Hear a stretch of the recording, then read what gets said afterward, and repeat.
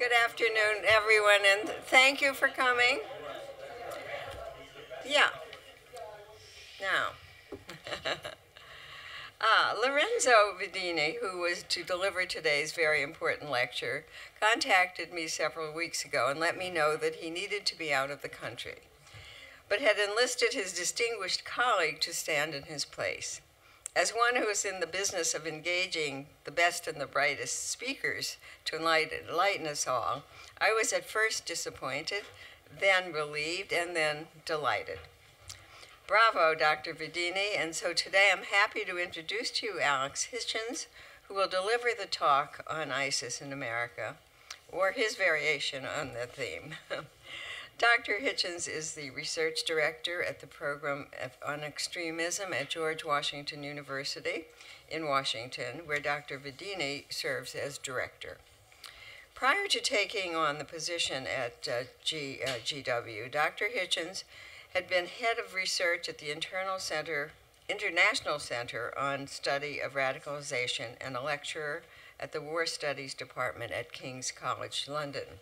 In addition, he has advised European policymakers um, and uh, police forces on uh, counter radicalization and lectures regularly to diverse audiences on these related issues. In this puzzling and alarming era, it is more important than ever that we understand better the reasons for radicalization, the nature of it, and strategies that are useful for discouraging it. With Alex's permission, I will also reveal to you that he is the son of the late remarkable Christopher Hitchens, who took the time in the final days of his life to share his wit and wisdom with us here in Scranton. Alex, please come.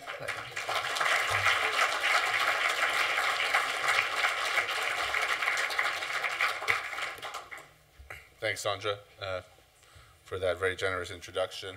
Um, thanks also for organizing this. Uh, thank you also to Emily Brees, um, who's very uh, professionally uh, helped me get here. Um, so just very briefly about my center, um, based in George Washington University, called the Program on Extremism. Uh, can, if you Google us, we've got a website too, which provides information like this.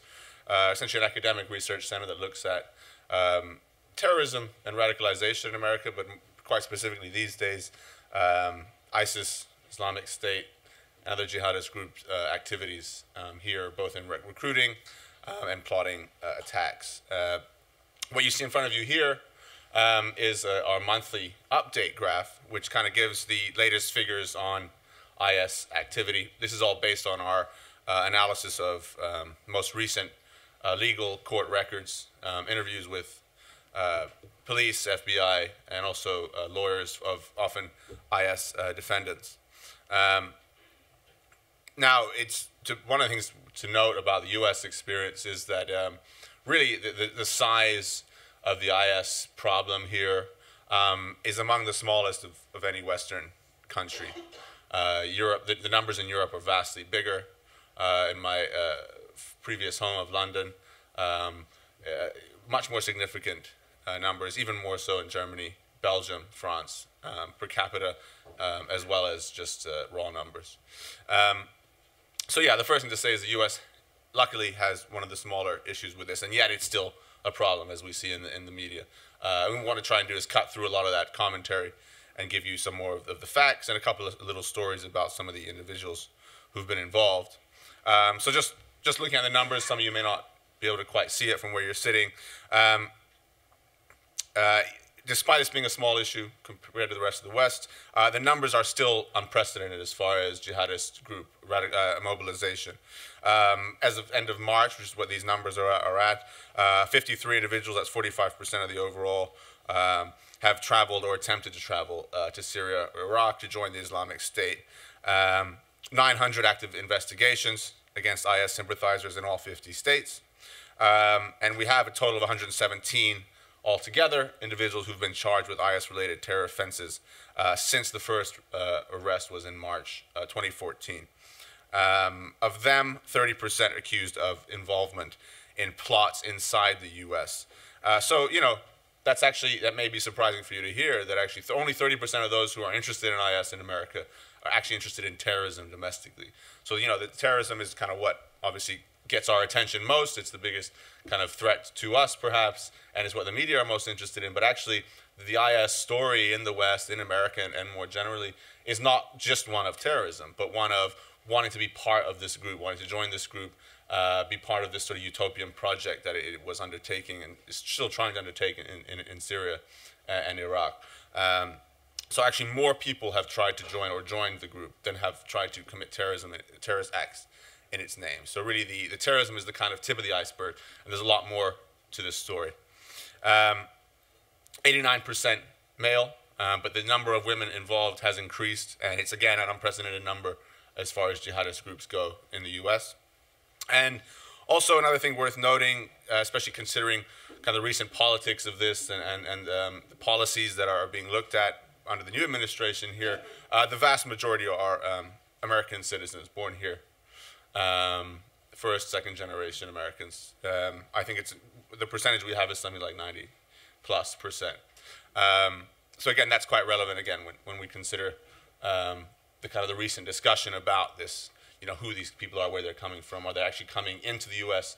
or are they being uh, created here? Um, so who are these Americans of, of, ISIS? And I'll give you some introductory thoughts, which I'll then elaborate on. Um, I'll try and keep my remarks fairly short because I'm more interested in what you guys want to talk about and, and ask me about. Um, so the profiles vary so widely, again, that it's very difficult to kind of come up with one type, as it were, of IS sympathizer, activist, recruit. Um, they differ widely in race, age, social class, education, family background.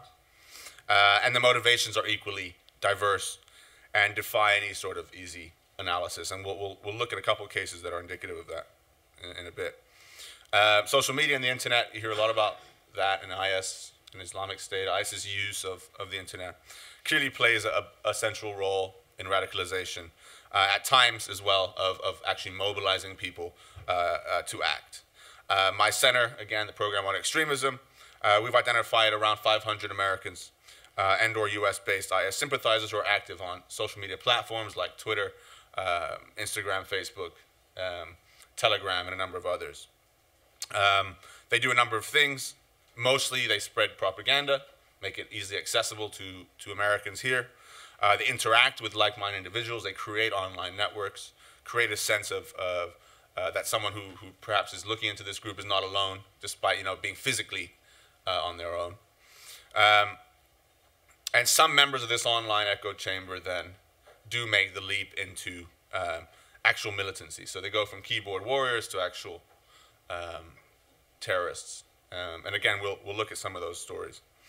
Um, it, it is Twitter where they are most active, and I don't know if, how much you guys follow this, but Twitter recently released a, a report where they said they they kind of they suspended 300, I think it was 300,000 um, IS sympathetic Twitter accounts on their on their platform. But it's very difficult to do this, and, and, the results are hard to gauge in terms of how successful that is. It's very easy to kind of return.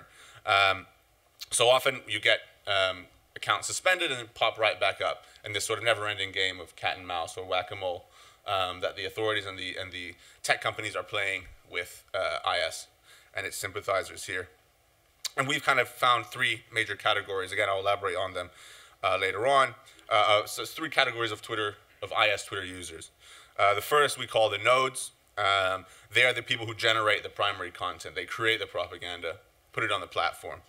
Uh, we also have the amplifiers, who essentially they don't create anything original, but they uh, help amplify the message by retweeting and spreading these messages out.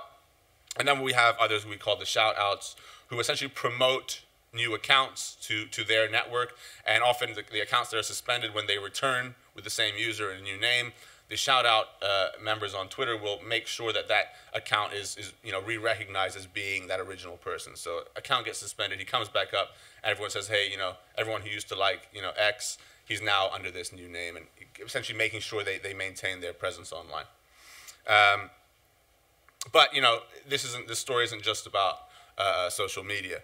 Um, while we have instances of sort of purely web-driven uh, individual radicalization. Um, in most cases, uh, in the U.S., individuals are initially cultivated and later strengthen their interest in ISIS and its narrative through face-to-face uh, interactions and relationships. That's still really key to getting someone to move from ideas to action is that face-to-face physical interaction with, with like-minded individuals and, and potential recruiters. Um, so really, it's, it's the way to understand the, the online you know, presence of IS and its role is to essentially see the online and offline dynamics complementing each other. Sometimes for someone, the introduction to the group may be online, and then they, you know, create those these networks and, and, and then meet these people physically and, and sort of strengthen their resolve. And other times it can happen uh, the other way around. Um, again, as I as I touched on, the the kind of spectrum of U.S.-based sympathizers' actual involvement with IS does vary very significantly. Uh, they range from those who are merely inspired by its message to those who, um, relatively few, who reached uh, mid-level leadership positions within the group after uh, actually successfully traveling to join it.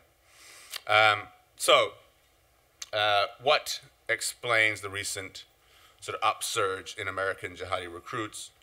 Uh, how do they embrace this extreme ideology?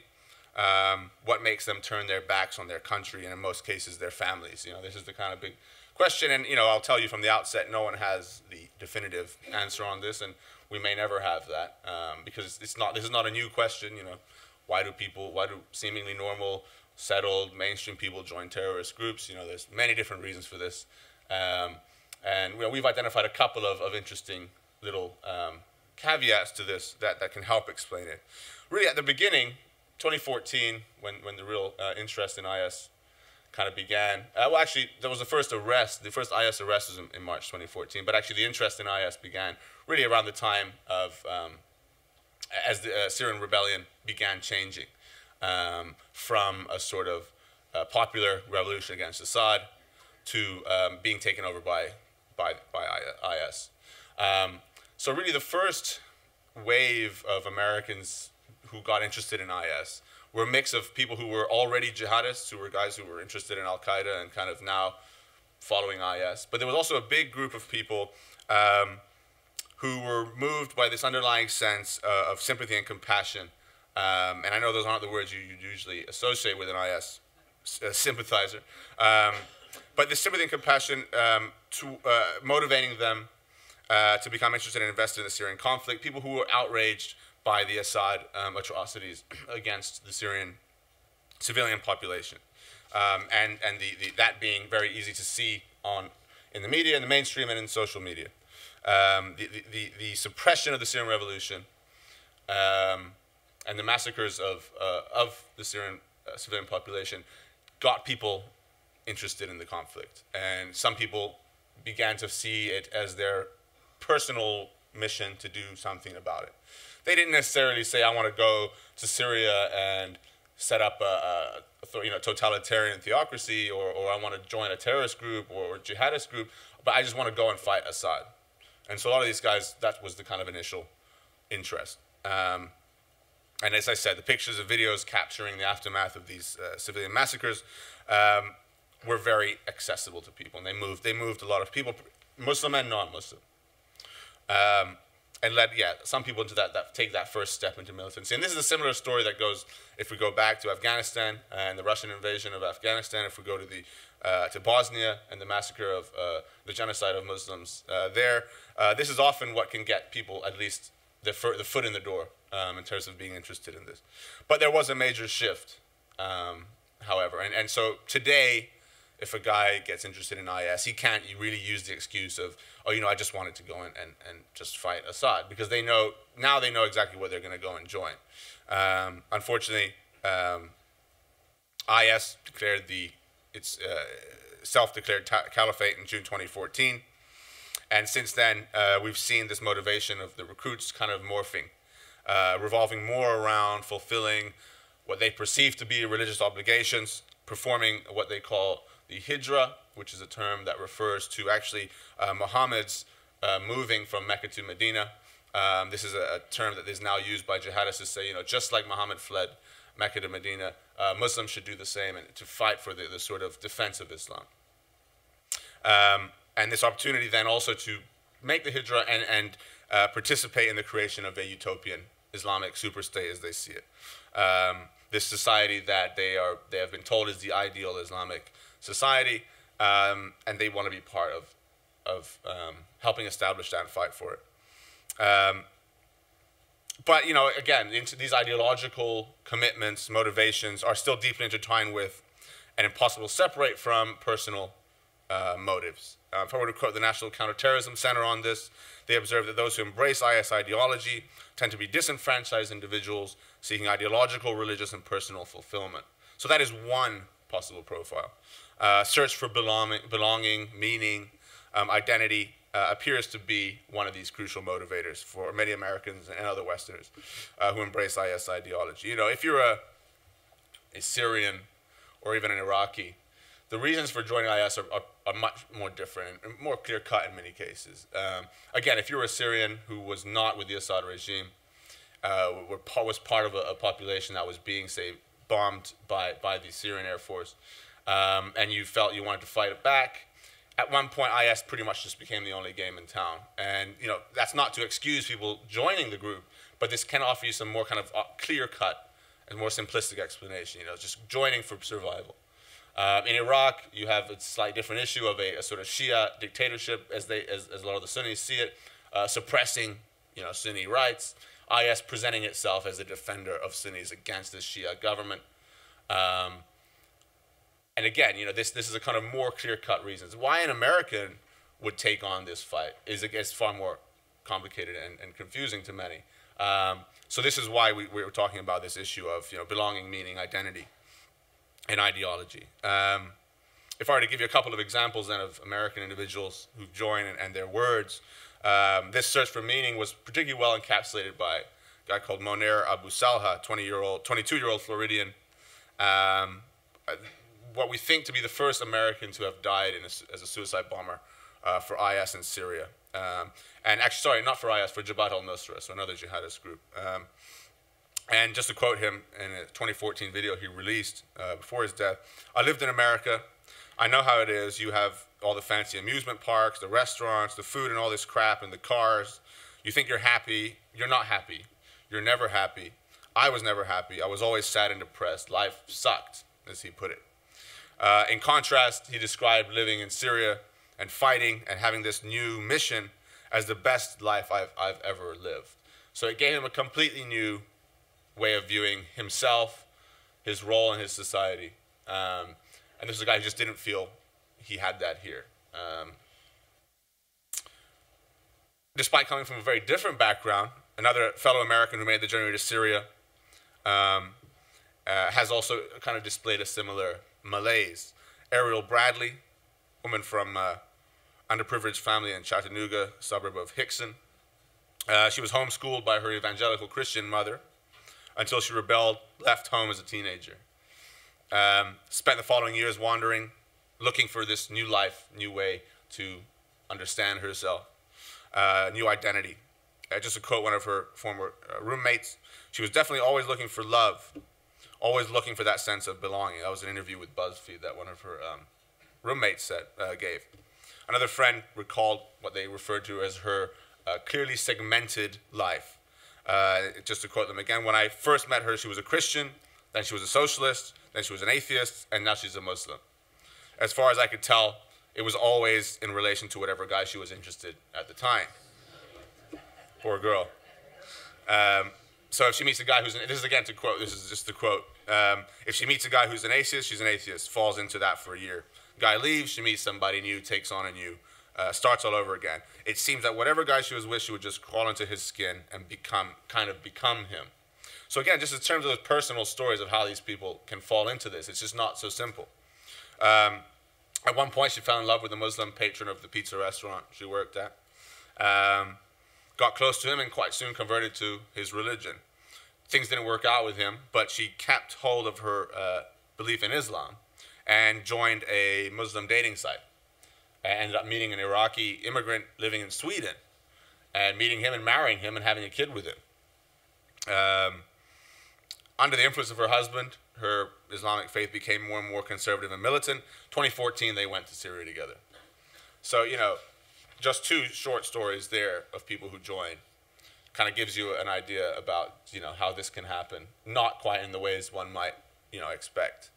Uh, so-called radicalization, you know, this uh, this process of joining an extremist group, uh, is a very complex, multifaceted process where ideas, personal experience, personality, emotion, violence, search for meaning, often all combine and work together to lead someone to join a group like ISIS. So never, never simple. Every story, every single story is unique. Uh, so this, this, this, see, this sort of uh, uh, search that people are on for the answer, you know, why, who, on, on this sort of ISIS question, it's, it's, um, you can see how difficult that is to come up with. Um, what we have to try and do, though, this is the final point on that, is, is to try, at least try and see if we can find a strain that connects them all. And even that's pretty difficult. For some, it is, it is the, the, the ideology. It's you know, the, the, the taking on of this, this um, fairly coherent set of ideas that present itself as, as, as, as pure Islam. Um, and making this convincing case that jihad, fighting, um, killing, is the sort of key obligation for anyone who calls himself Muslim. Um, taking that on seems to be one of the major uh, motivators, but you know the reasons why people adopt that ideology are very, very different. Um, so I, that's kind of one of my elaborations on the on an introductory point I made. The other kind of thing I wanted to talk a bit more about was this this use of the internet, social media, Twitter, etc. Um, as we know, this offered the internet in general has offered new ways for extremist groups, uh, not just IS, but but all types, from the far right to the far left to the religious extremists, to reach out and, and, and recruit people. Um, actually, the first that, that I know of uh, use of the internet by an extremist group was by the far right in America. Louis Beam, who you may be aware of, famous far right strategist who came up originally with the, the lone wolf strategy of, of sort of inspiring individuals to take part in terrorist action on their own.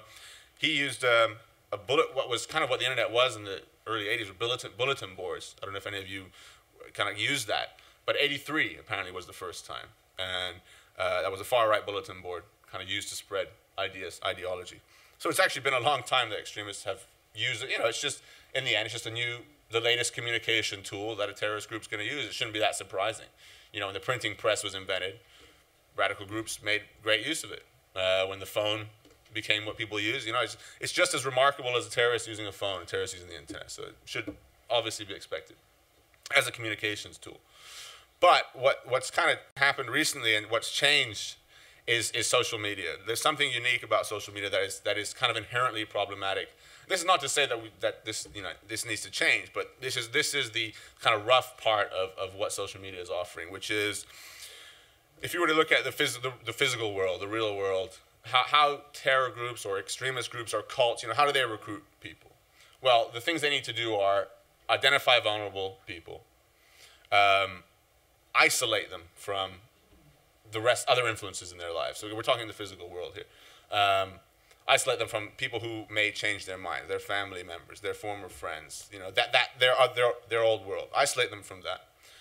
And instead place them in an echo chamber of sorts, a place where only like-minded individuals are, where they only talk about certain things, where they're isolated, and where it becomes, where essentially they, all these, the extremist views, these, these sort of uh, um, fringe views become amplified to the extent that's, that's all they hear. They hear nothing else. No, no debate, no dissent.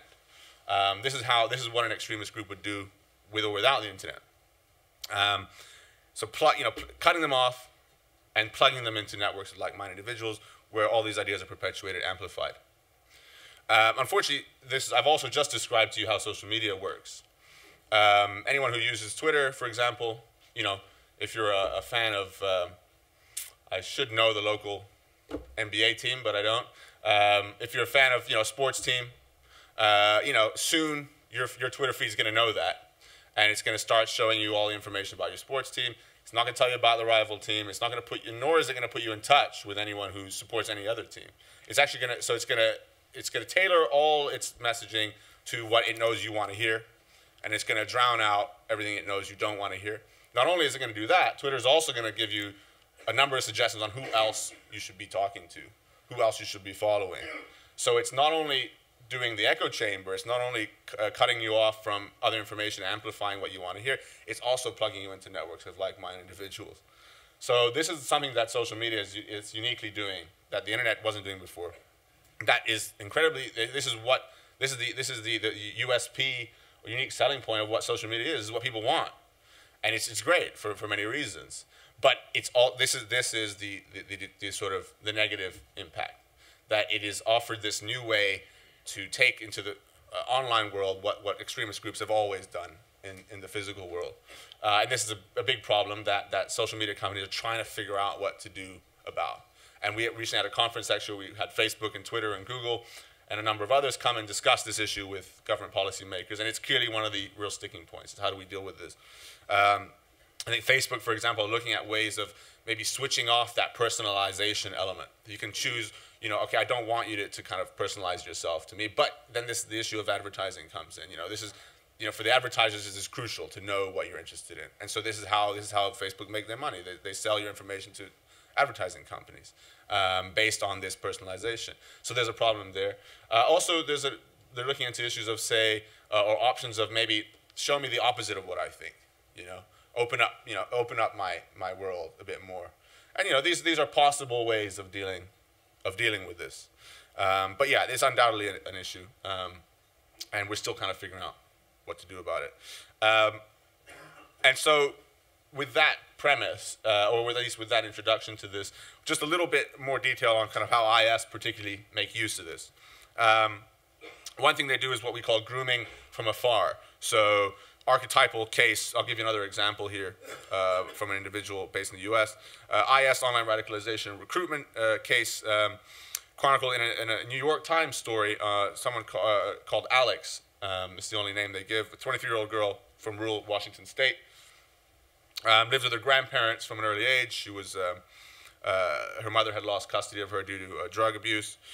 She was a college dropout who, in, in, her own words, lived in the middle of nowhere, no connection whatsoever to Islam or Middle Eastern culture at all. You know, so um, motivated though, as she put it, by a horrified curiosity um, to seek out IS supporters after reading news of the execution of the American journalist uh, James Foley. Uh, then several months, her use of social media had plugged her into all the IS players in Syria. Um, she was exchanging messages, uh, talking with them over Skype, um, talking to actual IS members, not just in America, but in Syria, real recruiters, professional terrorists. Um, over time, she started to express this, this idea of wanting to take on a new faith and live it more fully. And she was very slowly and, and meticulously groomed online in a very one to one, personalized process. New friends were showering her with money, books, gift cards, chocolates. Um, she soon converted to Islam, embraced IS ideology. They offered her, these new friends of hers online offered her this sense of belonging. Hours after declaring her conversion on Twitter, she uh, doubled her Twitter follower count, which for anyone who uses Twitter is real, is what you want. You know, it's what you're looking for from a post to double your, your following uh, from one thing that you say.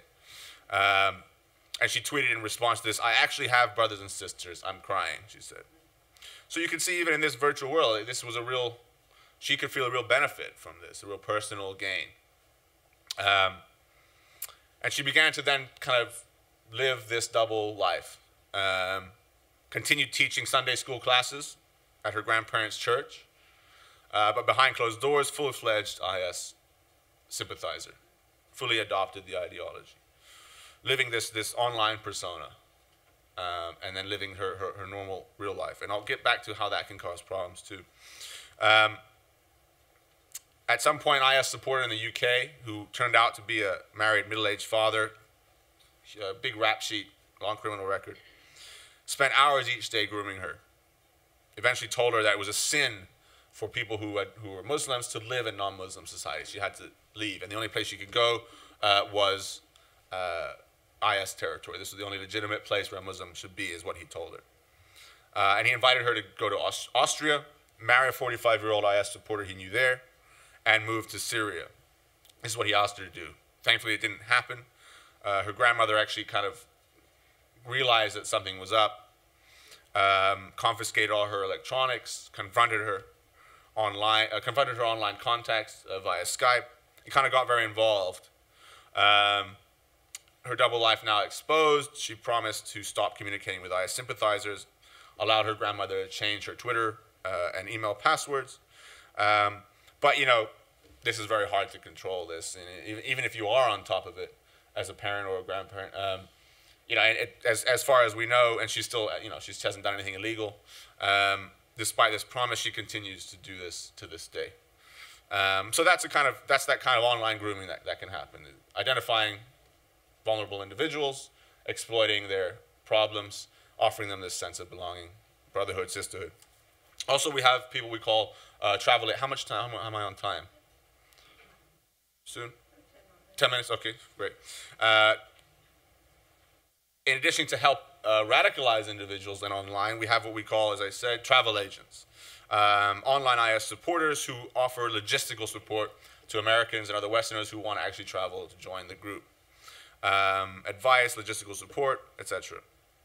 To give you another, again, specific example, October 2014, three siblings from Chicago stopped at O'Hare International on their way to Syria. So they didn't make the journey, but uh, they intended to. This journey had been meticulously planned by the eldest sibling, 19 year old engineering student Mohammed Hamza Khan. Uh, he was a graduate of Islamic school in the Chicago suburbs.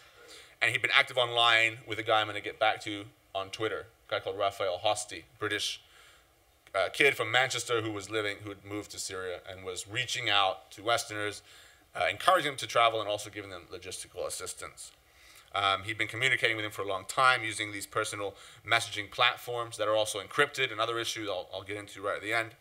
Um, and according to authorities, um, this online contact of Mohammed's had uh, given him a phone number of, of, the person he needed to contact when landing in Turkey, because uh, often the, the, route people take is through Turkey.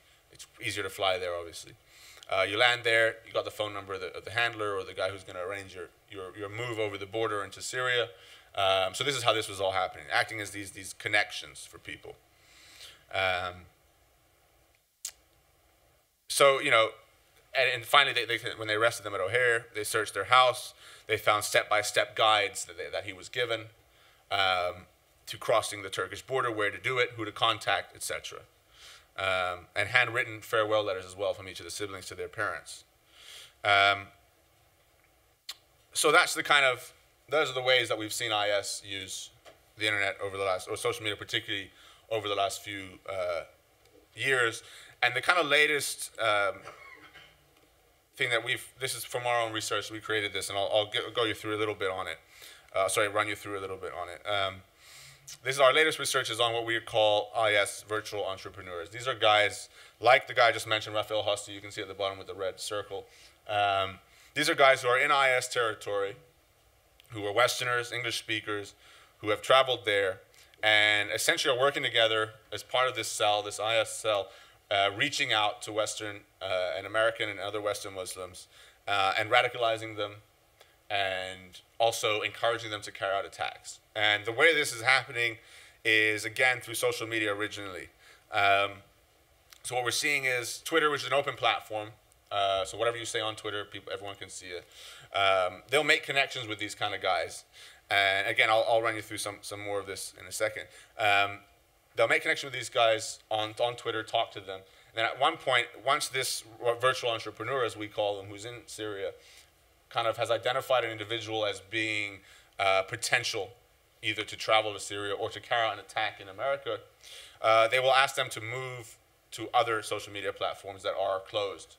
Uh, this is encrypted chats, basically. This is the kind of the latest innovation that essentially most, and we'll see in, as, as things develop in the tech industry, one of the things now people expect from their messengers, from their, their you know, their text messaging, uh, etc., is that it is encrypted and like really encrypted, so the FBI can't see it. And then we know the case that maybe of between uh, Apple and the FBI. Uh, this may have been one of the sort of this is a sort of seminal case here, where you can you can see actually the FBI was not able to access this stuff uh, until it actually hired a, a hacker to do it uh, controversially. But um, the fact is, there are real encrypted apps out there. WhatsApp actually now is one of them too. Another one called Telegram, that where people can have very uh, detailed, elaborate conversations about terror planning, and the FBI can't see it, and no one, no one can see it. Um, and there's a, uh, a, number of cases in the U.S. where we've seen uh, plots that have that have uh, emerged purely uh, due to this, this use of, of this technology. Um, so as I mentioned at the outset, since our launch, uh, we've tracked 117 criminal court cases involving American IS supporters, reviewed tens of thousands of pages of court documents, uh, interviewed law enforcement officials, reporters, attorneys connected to the cases, etc. In doing so, we identified 19 U.S.-based individuals who were involved with virtual entrepreneurs for the Islamic State. So these are 19 Americans who were in some way or other in contact with this group of guys in Syria who were, who were reaching out to them. Each of those guys circled in red on this graph are what we are calling the virtual entrepreneurs. These are guys who are either in Syria or other jihadist areas who are who essentially build up major um, profiles online. They get known. Uh, they become pretty much online celebrities among jihadi sympathizers, and they they, they create these major um, personas, and they become magnets for people to go and, and, and, reach out to. And these guys then sift through everyone who contacts them and tries to figure out who are we going to extend a sort of more of a direct contact with through encryption and encourages them to carry out attacks or to travel. Um, so, so, so, through, uh, so the main guys, and actually now most of them are dead. Um, Junaid Hussain, uh, the top there, uh, with the covered face, British um, hacker from Birmingham, um, who was killed by U.S. airstrike in uh, 2015, and sorry, 2016. Um, he was directly involved, in fact, in if you, if you know the the Garland shooting the, the, in Texas. This was a, a, plot by two American Muslims to attack the Draw Muhammad cartoon event in Garland, Texas. They traveled there to, to basically massacre the um, the attendees and they were killed on on the way in by a, a, a local police officer, I think.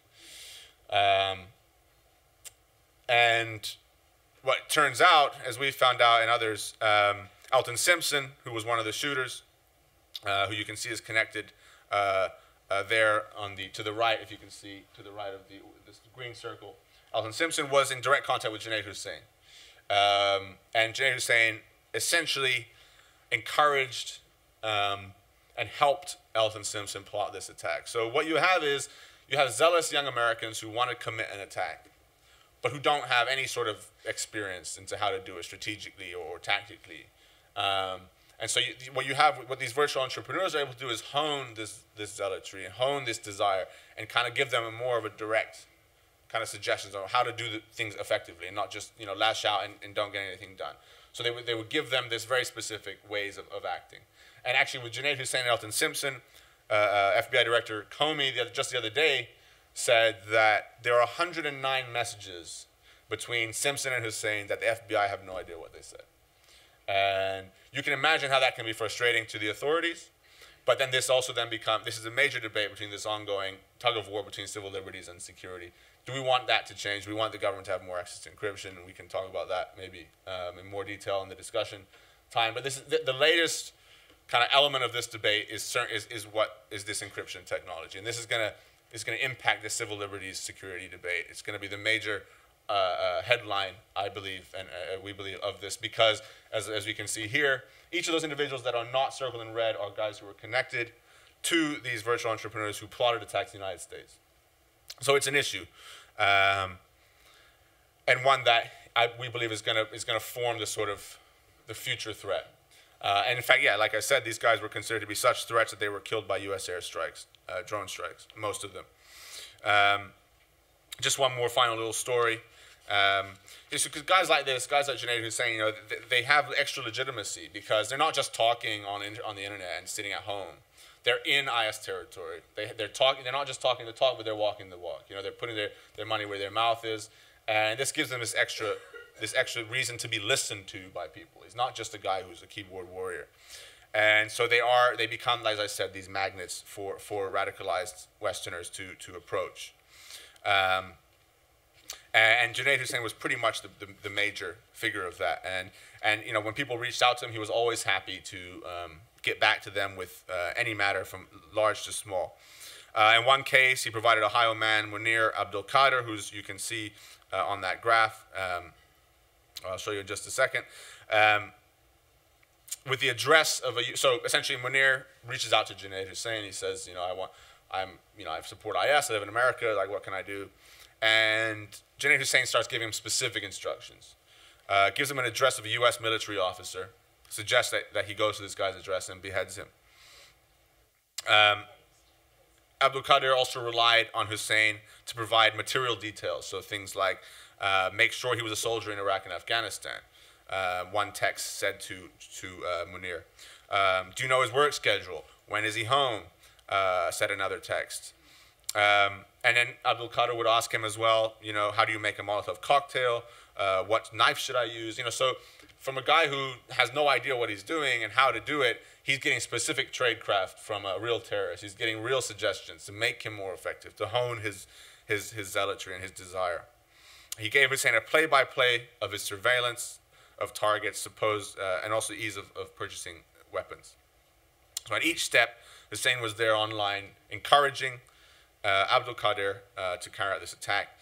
Uh, he was actually arrested. Abdul Qadir was uh, arrested shortly after that, having plotted part of his attack with an accomplice who it turned out was an FBI informant. Um, so um, I will, yeah, and as I said, th this is what I believe and what we believe to be the kind of the current nature of the IS threat here, and this this exploitation of um, encryption technology. So, and I'll give you just a uh, final point. Uh, the guy who who founded Telegram, which is the pretty much the main platform for IS now online. Telegram is essentially a messaging uh, application where people can, can have discussions, they can, they can provide information, and also offers encrypted uh, chat. Uh, the guy, guy who, who set, up, set it up, a guy called Pavel Durov, he set up a group, uh, a company actually in Russia first that did very similar things, and the Russian state essentially took it over. And so he moved to America to set up a similar thing. Uh, and when he asked about, you know, what does he make, what does Telegram make of the fact that, that IS, that, they're, that they're, are, they are the main platform for IS activity online, essentially he said, look, this, this is the downside of offering real privacy. That we can't expect only the good guys, you know, to use this. Of course, the bad guys are going to use this, and essentially saying, again, this was his last quote on it, which was a couple years ago. Their position may have changed, but essentially saying that we're we are willing to absorb this for the as a price for offering real privacy. And you know, this is the debate. Um, I'm not offering, you know, immediately my own, you know, criticism of that. I'm just saying this is uh, where it is right now. And we have to, uh, tech companies, governments have to figure out how they're going to uh, move forward on that. And I will leave it at that. Happy to take questions. Thank you.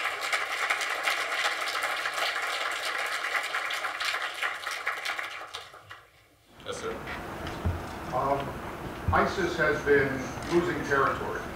They've been pushed back, and, they continue to be pushed back.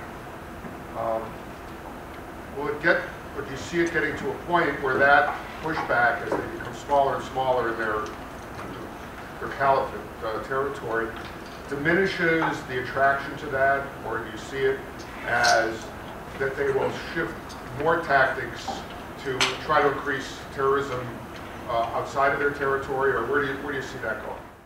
Uh, so, one, yeah, so actually that's very related to, to to what I concluded on, which is so a lot of these guys who originally contacted these virtual entrepreneurs were contacting them for information on how to travel to Syria. And this was like 2015, 2016.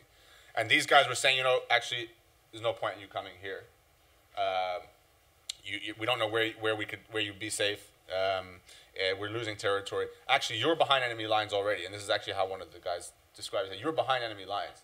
You're where we want to be.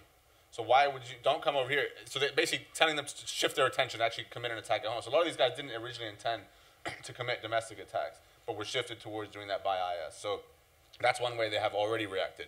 Um, having territory undoubtedly helped IS to attract people because, you know, this, this idea of the, the, the Islamic State, so the, the IS predecessor, Al-Qaeda, um, kind of they talked a little bit about setting up an Islamic State, but it was it was presented. Sorry, i am just not talking into the thing. It was presented uh, by Al Qaeda, the Islamic State that is, was presented by Al Qaeda as something that wasn't on the horizon anytime soon. It was a long, distant pipe dream. So it was harder to get people to buy in because they were thinking, you know, okay, this this sort of this is an abstract thing. You know, I'm not I'm not going to see immediate results. IS kind of have pushed that further by saying, well, it's, it's here now um, they're, they're, we can't actually succeed through terrorism and through our tactics. The jihadist you know, program can be successful. So that's undoubtedly helped them. Losing territory has meant that the numbers of people traveling from the west there almost have almost stopped completely, and that includes Europe. The Germans recently said they pretty much have no one now traveling there. But what that has meant, as, as I mentioned, as we've seen evidence of, is that they are now being encouraged to do more domestic attacks. So, yeah, it's likely that um, we'll see a rise, and actually, we have seen a rise in, in, in domestic plots in the West post IS struggling in Syria. So the numbers show that that is the case. Let's see how this year goes, I think. You Any like light in the story, like will technology be able to counteract um, a lot of this? Like the New York Times yesterday did all these encrypted sites and how you should use everything encrypted if you want to use personal information to be safe. So in your program, because I didn't know there was a program in extremism, in your program, are you developing ways to counteract terrorism on platforms? So yeah, uh, we're, not because we're actually we're more of a research center. We're not an activist group. We, we more uh, research what what the threat is and sort of offer advice on what to do about it. Um, but yeah, so tech companies are taking direct more direct responsibility for this these days, um, and they are doing so. I'll give you one example. Um, uh, there's a group called there's a company called Jigsaw. I don't know if anyone's heard of it. Jigsaw is part of a another company called Alphabet, which is actually a sister company of Google. It's, it's a Google, basically. Uh, and, but Jigsaw specifically do um, what they're calling counter messaging online. So essentially trying to offer the alternative to IS, which is a very difficult thing to do because, um, you know, you know, this sort of idea of counter messaging, counter narrative is, is not something, there's no science to it.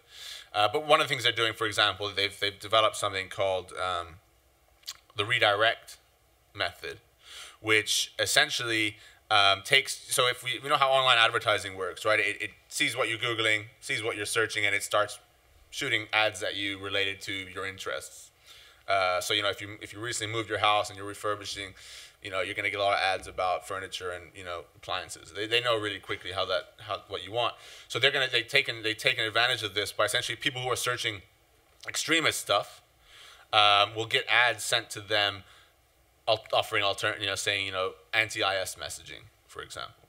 And so you know, so and I think it's specifically for YouTube. So people who are looking at extremist content on YouTube are are off, are given suggestions for alternative um, videos. So things like that um, are happening. Um, and like I said, this idea of Facebook, I think, um, are de are developing or, or looking at this idea of getting the option to show me the you know to give me give me my opposite feed. Uh, and I think there was an article, I think it was in Daily Beast. It was one of the, it was one of these sort of uh, more online platforms where a guy said, you know, I turned my Facebook into an IS account in within within uh, like a week or something. He essentially describes how how long it took him to take his Facebook account and make it one that just showed him IS material. You know, you just like a number of the right things, you read, you know, a number of things. You can very easily, all of a sudden, it becomes, you know, an IS platform. So that that you know, they, they are clearly trying to figure out what they can do to possibly counteract it. But as I said, um, we can probably assume that the, you know the net benefit of the internet is, is you know much higher, uh, and and you know it's probably doing a lot without that is not quantifiable in terms of preventing people, just in terms of connecting them with you know like-minded folks who you know share their views about whatever democracy, you know liberal values or whatever. So you know it, it's it's easy to kind of bash the tech companies and um, and they certainly have to do more, but you know, it's also it's a very difficult world they're living in. And you know, you know, when Mark Zuckerberg set up Facebook, I doubt he expected to be having these conversations and about fake news and you know having to have set up. You know, these they're hiring teams of people to deal with this stuff now. I mean, I, this is not what they thought was going to happen. They didn't realize they were. I don't think that we are going to become this sort of social force. Yeah, yeah, it was a dating site, I think. Right? Um, yes. Um, has ISIS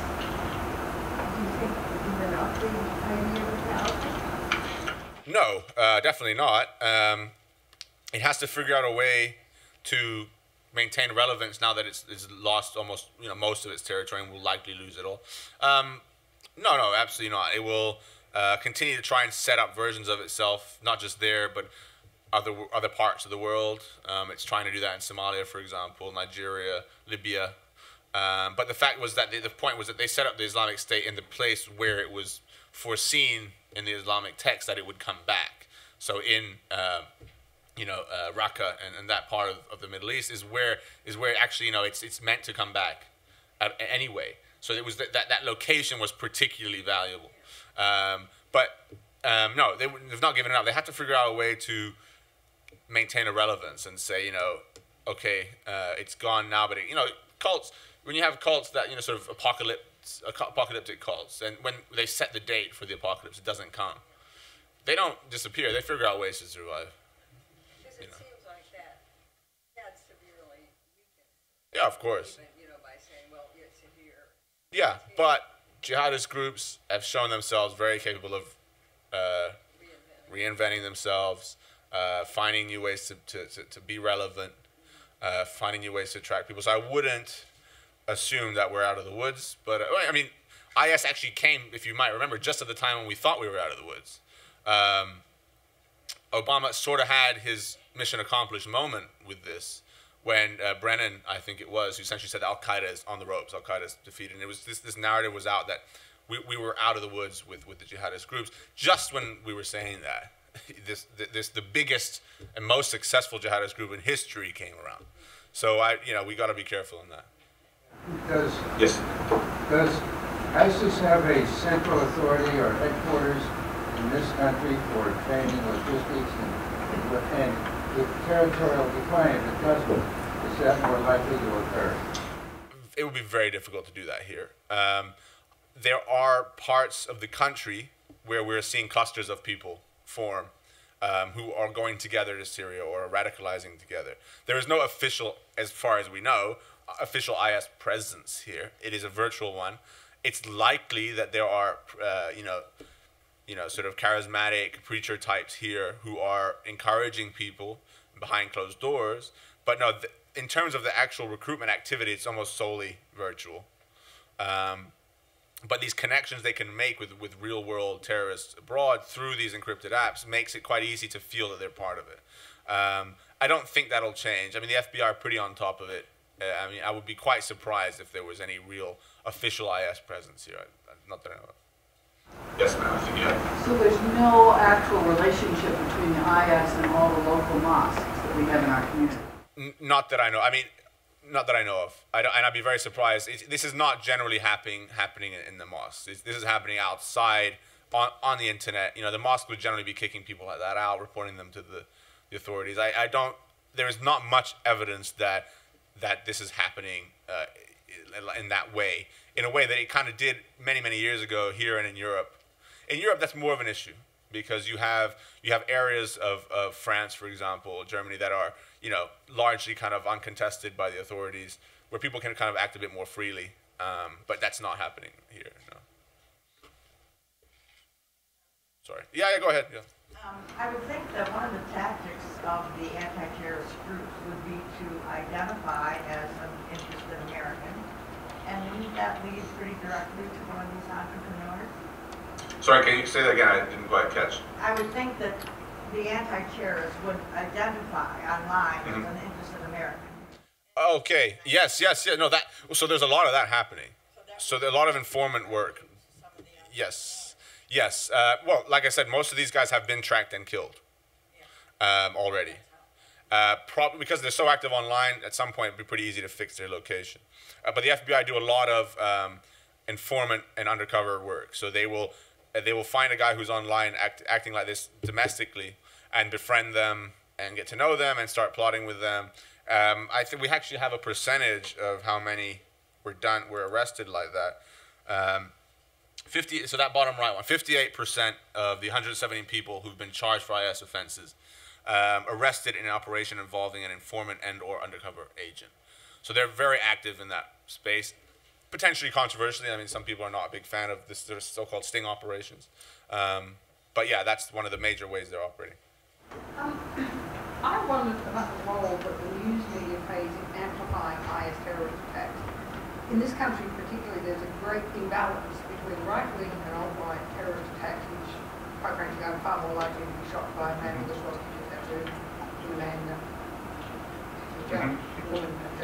Um, but that media imbalance, to me, amplifies the effectiveness of IS, and it seems that the media either doesn't realise this or doesn't care. Yeah. Um, so in the end, the media shows us what it thinks we want to hear or what we're interested in. That's the business they're in. And for one reason or another, the jihadist groups have captured our imagination much more than the far right. Um, it's probably because, well, the far right is far more active in Europe and in, Amer- and in America in terms of its potential. It's not a very coherent movement. So you have anti-federalists, you have neo-Nazis, you have white supremacists, you have uh, you know um, these guys, sovereign citizens. You have so many different types that it's not a homogenous single movement. It's much harder to pin down for people to understand it. Um, so I think it, you know, they give the consumer what they think they want, um, and yeah, absolutely, that is it amplifies the, the the view of the threat as well. I mean, I think if you, I think recent polling of Americans shows that, um, you know, I, I think about a year ago, polling showed that, um, you know, Americans identify IS as pretty much the biggest threat to their, in their lives. Um, and you know, I think statistically, you have more of a chance of whatever you know being killed by a four-year-old who found their dad's gun or something. Uh, I think a lot by a heck of a lot of a percentage. But um, you know, it's focusing on how much of a direct threat, in terms of like how many people they kill every year, is only one part of understanding terrorism. So, you know, the bigger impact of terrorism, uh, and particularly of the jihadist type, um, is is not the numbers that it's killing, but it's what it's doing to the society that it's attacking. So terrorism really is about um, much more than that. So it should, we shouldn't just play a numbers game on it. It divides societies. It makes people turn perhaps more to illiberal politics. Uh, it turns people against each other. Uh, it creates fear and panic and anxiety. Um, so these are the things that, that when we look at the threat, we have to also to acknowledge. And there's no doubt that the jihadists have been very effective at splitting societies, at turning people against their fellow citizens. Um, but yeah, of course, the media have a responsibility. Um, but I'm also, you know, I'm realistic in the sense that they're going to tell us what, what they think we want. In France, after the killing of a Catholic priest by an IS operative um, in uh, Nor- Normandy, I think it was, I'm not 100%. Um, a couple of major outlets made a decision not to name the attackers. Um, yeah, I mean, I have to say, I'm not, I'm, I'm split on that because in the end, it's the responsibility of the editor of the press to report the news, not to decide what we should and shouldn't hear. But you can see, you can understand the, the, the, thinking behind that. The news, because IS have been extremely effective at manipulating the media for their own propaganda. Absolutely, been the most, the biggest amplifier of its propaganda has been the Western media, and it's doing a big part of its job for it. But that's then what is the media supposed to do then? It has to change its entire ethical setup. It has to, it has to decide, you know, either it reports the news or it starts filtering it. Or possibly it, it becomes another tool of counterterrorism in the sense that you report it, but you equally report that a balanced thing. Yeah, I think you can certainly say that, but like I say, it's much harder to report on the far right. I have to say, it is harder because it's just not, it's not as easy to, and they, they haven't, and also they have not had their 9/11, as it were. You know, there's not been, you know, a major, you know, in in, in Europe there has been in Norway, you know, the biggest terrorist attack in, in one of in one of the biggest in Europe's history was committed by Anders Breivik, a far right extremist. So, um, yeah, Oklahoma, yeah, of course, but how you know that was a generation almost ago, really, wasn't it? It's unfortunately, unfortunately, it's a, it is an issue of, of immediacy and timing, and but I accept that it's absolutely an issue.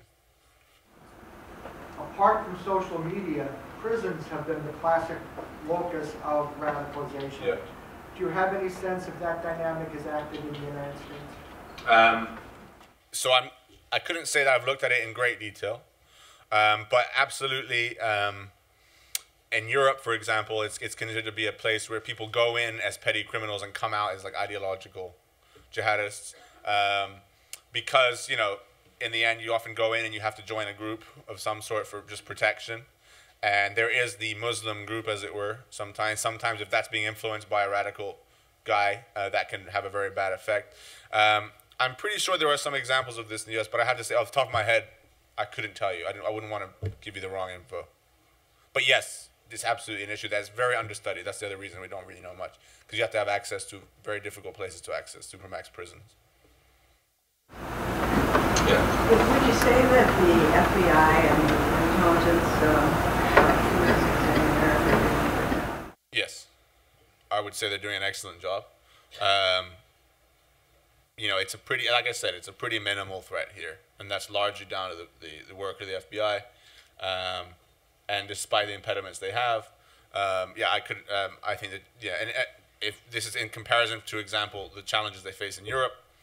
Um, if you look, I mean, again, I'm, I'm hesitant. You know, it's, it's always the reaction when there's been a big attack is to kind of to look at the, the agencies and kind of blame them and say, well, you know, this guy he was on. You always hear he's on the radar. He was on the radar. You know, every attack, the London attack. Oh, you know, he was on. He's always on the radar, and then people use that as a uh, as a criticism. They say, oh, you know, well, if he was on the radar, how did he, you know, how did, I know, but realistically, you know, there's only so many, you know, crocodiles around the boat that they can they can they can whack, as it were.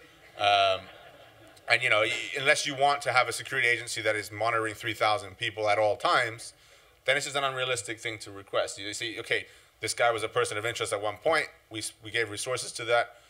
What, we, what can we, we had to shift the resources somewhere else, unless we wanted to expand massively the surveillance. Um, so, but there are, so having said that, there have been cases recently in Europe that, you, that they have been questionable. The, the, the Brussels bombings, for example, and the Paris attacks were committed by individuals who really shouldn't have been able to, to be there who were pretty much making their intentions known uh, on prop and through IS propaganda, who were traveling across the borders back and forth um, in ways that really shouldn't have been possible. And actually, this has been a big blow to the, the, the idea of the EU free movement of people, um, the Schengen zone, uh, which I think is going to really struggle to survive, uh, especially if there's another attack like this. Because essentially, we saw with the Belgium the Brussels attacks that one of the reasons they were able to do this is because they didn't have to show passports when they crossed the borders. No, so it's a big problem um, there. Here, that's not an issue for us. Why do you think they haven't gone for a high-profile location in uh, America, like Disney World, or like the Super Bowl or World Series, something like that? Um, well, I think if we look at like plots that have been foiled, I think there have been ones that at, at major events and, and at major like monuments. Um, but again, one of the reasons is also because that um, generally like jihadist strategy in the West has changed since definitely since 9/11 to being um, more kind of things that are easier to commit, things that are actually work. You know, something big, it's very likely to get caught, get get foiled. And in order to just maintain some presence here, they're basically telling people, you know, low level stuff. Like the like the virtual entrepreneurs I was mentioning, they're telling people, you know, get a knife, go out and just kill like one person if you can. And no no celebrity or big figure, just someone, just so we can claim something. Uh, just to maintain that presence. So they've actually lowered their expectations. They lowered the bar strategic, as a strategic, you know, decision to just at least maintain some presence, not just keep failing in major spectaculars. Of course, they'd love to do it, but they're just being realistic on it. It's a pragmatic thing more than anything else. A lot has been made of the use of the term Islamic extremism or Islamic terrorism. Yeah. It's almost like a litmus test. Uh, does the use of the word or the non-use of the term help, hurt, or not really make it make any difference in the long run? So I, this is just my personal view. Um, I think the two administrations that we, the one we just had and the one we're having now, have both made mistakes on this. Um, I think the previous administration made a mistake in telling people uh, and basically not mentioning it at all and saying to people, you know, not allowing people to have any sort of sophisticated discussion about the role of religion in, in, in terrorism. And in this case, the, the role of the Islamic religion. Now, you know, caveat this obviously by saying the vast majority of Muslims have no interest in violence. Islam can just as much teach you about not killing people as it can about uh, potentially killing certain groups of people. Um, and even that is a know, debatable statement in terms of the, the violence. Um, so, you know, I think it would be not allowing people to fully understand the topic if you don't let them say, okay, yeah, where, where does religion play a role here? Let's discuss it rather than just stop, you know, not allowing anyone to talk about it. But you know, in the current administration, we're seeing this sort of an overreaction to that. But I think part of that, the response, the positive response that, that the administration has to some extent gotten with that kind of language, at, at least in the run up to the election of the, of the president, um, was by people who were fed up of being told, you know, um, of being felt as if they were being told they can't have that discussion at all. So anyone who was saying it, they were willing to listen to them. And this is again where the mainstream have to understand that if you want to deal with a topic, you need to deal with it yourself. If you don't talk about it, the extremists are going to do it. And if you, you need to own these topics and not pretend they don't exist. The Obama administration, I think, made a big mistake in just ignoring it.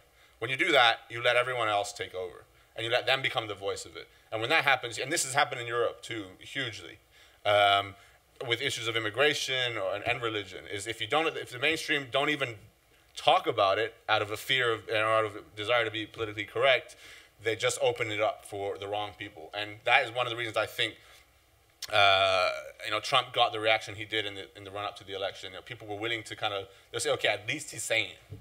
Maybe in a crude way, and, and, and but he, at least he's saying it. And I th- uh, so actually, yeah, I would call it, I would say there is, an, there is, of course, an element of religion to, in this. You know, these guys at least think that they are, they are practicing Islam as it should be practiced. They are, you know, religious sheikhs, figures, you know, clerics who are, you know, who are preaching this stuff. There are actually, you know, there are, you know, scholars of Islam who have said that this is this is this is okay. A small minority, but there are. If we're going to pretend that it's nothing to do with it, then I think we're just not letting people get a full grasp of it. I get is my convoluted answer. Didn't Barack Obama think it a misnomer that it's not radical Islamic terrorism, it's radical Islamist terrorism. It comes out of that culture, but not out of that religion. So yeah, I mean, firstly, yes. So one of the things that, you know, at one point, I believe the administration removed the word Islamist from everything too, because and instead of letting people have a sophisticated, or at least some sort of discussion about the difference between Islam and Islamism, right? We can say, you know, Islam is the religion. It's a spirit, you know, largely spiritual, personal journey, etc., like the others.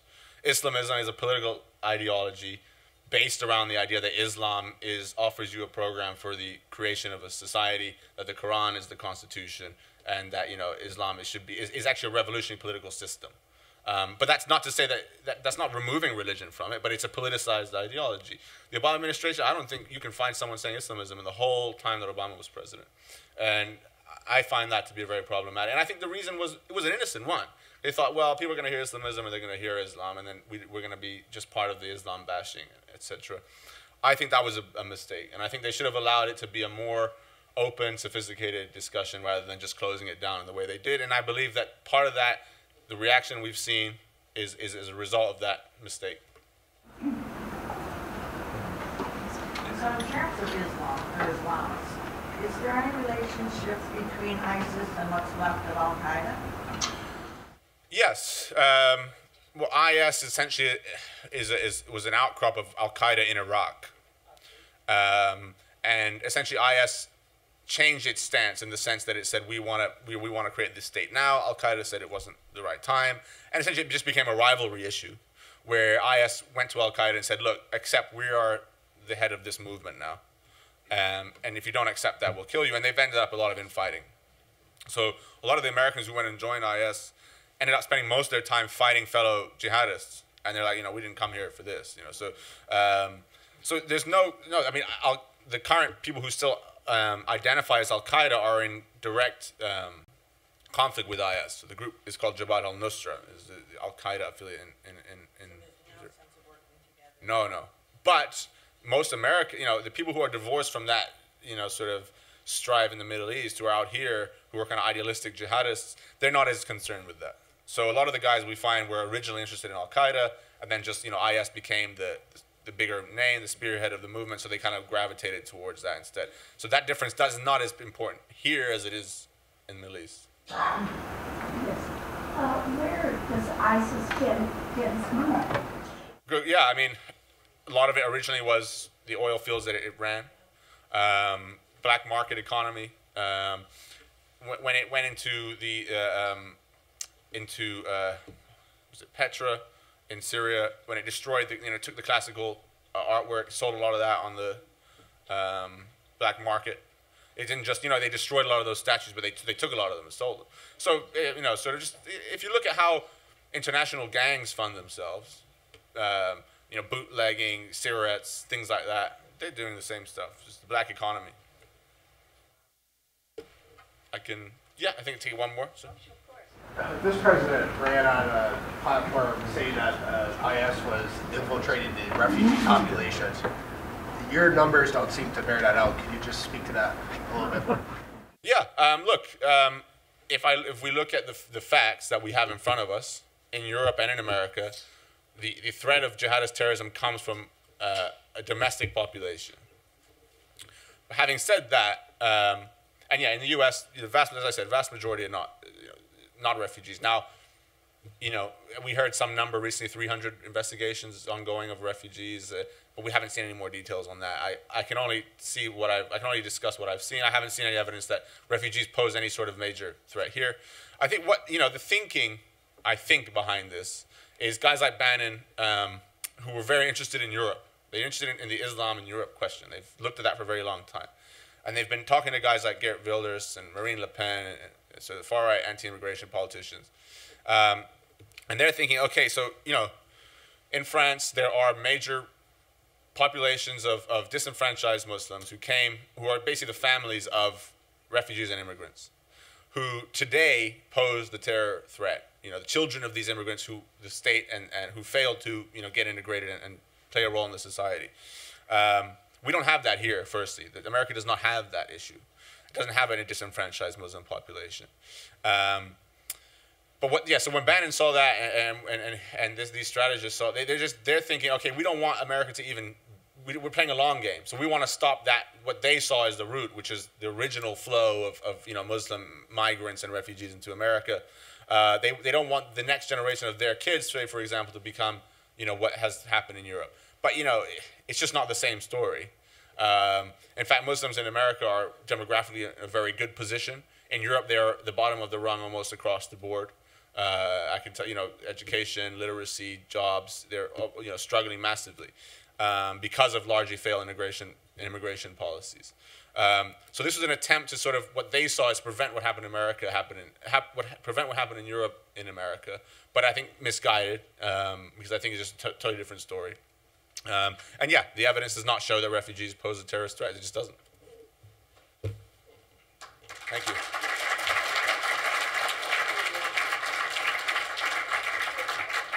Thank you, Alex. Uh, I feel uh, comforted and informed by, just by the knowledge that we're getting straightforwardly from you. A very valuable conversation. Thank you.